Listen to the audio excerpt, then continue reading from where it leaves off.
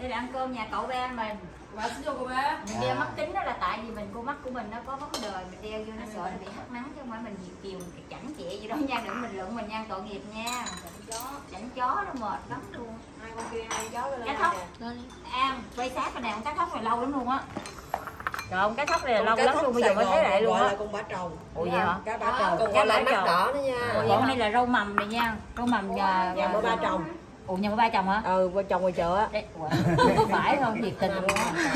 nè đó. Rau mầm á? Quay cậu ba đây. canh chua. Canh chua. Lá me canh chua lá me kìa.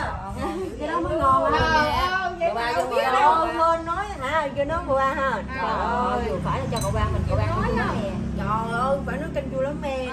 Cà pháo mắm nêm nữa chủ sao đã? Chảo ha lử tét mà đã rồi vô ăn ăn rồi ăn thôi ăn thôi. Cậu bảy lúc đâu rồi? Ăn giờ quay Hồ Chí Minh à út kìa.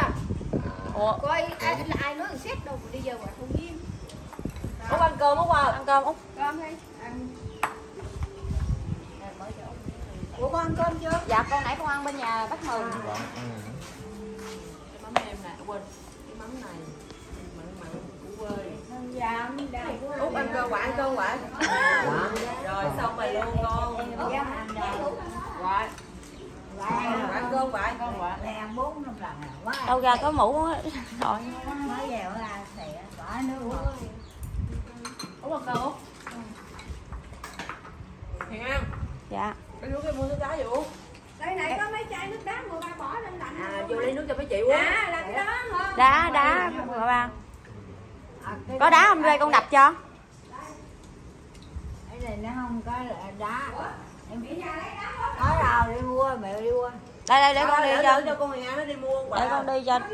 Rồi đi mà con biết rồi mua. Ủa hành hiếu. mua đâu mua đâu chỉ con đi được con biết à. Rồi đủ đủ chén không đủ rồi mà ba đưa cho. Bà ba nhào ăn luôn. Không mà ba ăn ăn miếng cơm hả dạ con ăn bên nhà bác mừng à, đủ rồi ăn không? Mà ba đi mua trứng rửa Ờ, thì đợi ăn. đủ nói luôn ba không? Ăn này Tự xử xử nè. mười mấy năm về trước có ăn ăn vậy đâu? Có mấy mấy chục năm về